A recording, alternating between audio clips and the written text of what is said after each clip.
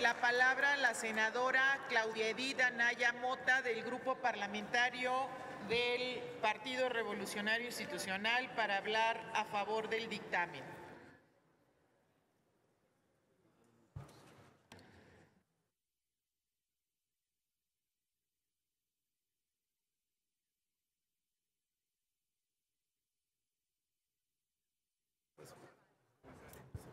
Bájeme callando.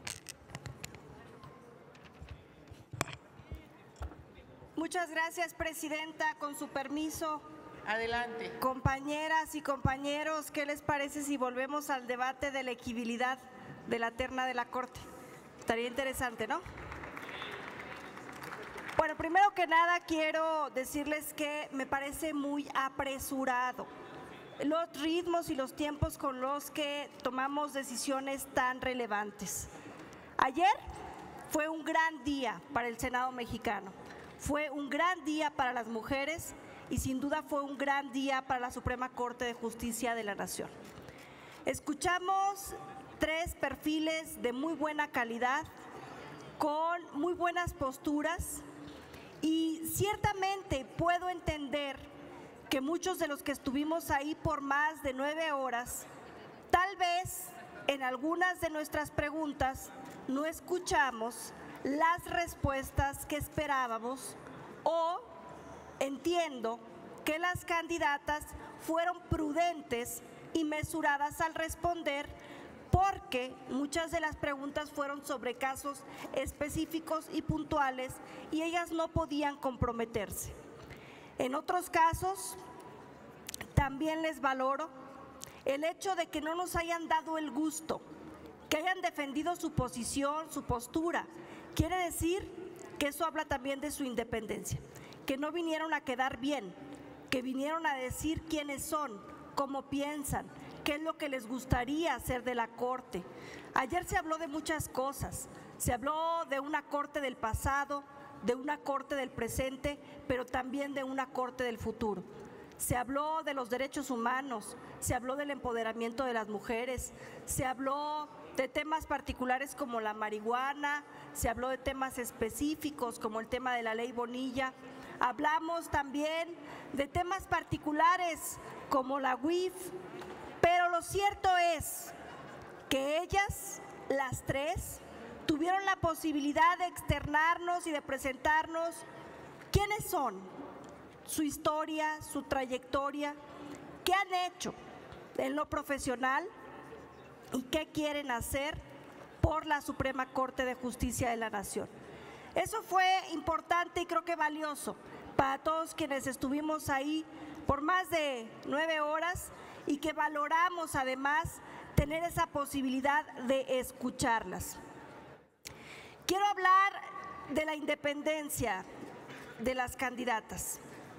Las candidatas me parece que tienen la suficiente solvencia moral respetar la autonomía de la Corte.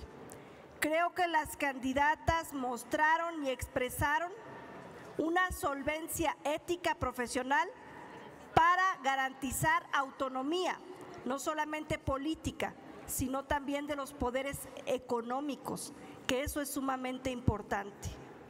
Es sumamente importante que entendamos que el acceso a la justicia, que el acceso a la Suprema Corte es un acceso que se ve delimitado a veces por las condiciones económicas de las personas, que no todos pueden pasar de primera instancia a segunda instancia hasta llegar a la Suprema Corte de Justicia de la Nación, que tenemos muchas cosas que hacer en el Senado de la República por lograr la justicia en el primer nivel para que de esa manera no se sobresature la Corte con el trabajo y con el tema de última instancia, que muchos mexicanos no tienen acceso a eso.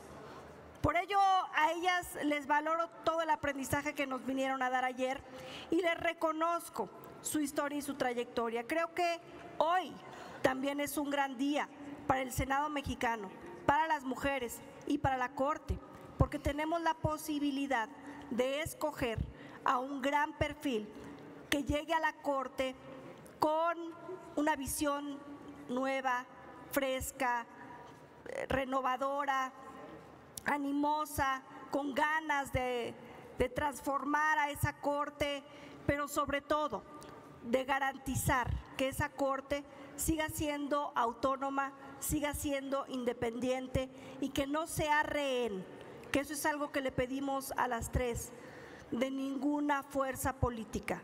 La Constitución es la base que nos debe dar certeza a cada uno de nosotros para el futuro, porque recordemos que ellas estarán ahí por 15 años. Esto trasciende sexenios, esto trasciende eh, las fuerzas políticas que actualmente eh, comprenden el Senado de la República. Somos los más y debemos de ser los más interesados en construir un órgano jurisdiccional que nos brinde certezas, certezas para el presente y certezas para el futuro. Sin duda, los requisitos de la Constitución son sencillos para la Suprema Corte. Si queremos que sean más rigurosos, si queremos subir el estándar de calidad, cambiemos entonces la Constitución. Hablábamos de que para la Comisión Nacional de Derechos Humanos se pide perfiles más específicos. Para la Comisión Nacional de Víctimas se pide perfiles más específicos. Y para la Corte se pide básicamente tener un título de 10 años de antigüedad de, de derecho. Si no nos gusta eso, cambiemos entonces la Constitución, pero sobre el dictamen pues no hay tanta discusión porque se cumple evidentemente con los requisitos constitucionales. Entonces, en ese sentido, a lo que abonaríamos es a las reflexiones de este Senado sobre lo que queremos hacer en el futuro si es que los perfiles nos parece que no son suficientes, pues entonces hay que legislar al respecto. Pero en materia del dictamen cumplen con la elegibilidad y espero más bien que cada uno de nosotros cumplamos con nuestra responsabilidad. Votemos a conciencia y con conciencia de que la Corte merece un perfil respetable. Muchas gracias, Presidenta. Gracias, senadora.